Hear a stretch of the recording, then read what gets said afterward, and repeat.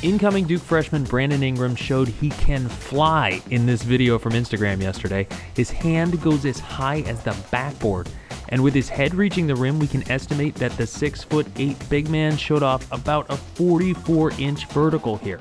That's higher than all but two of the vertical jumps at the NFL Combine in 2015. I wonder if he can dunk.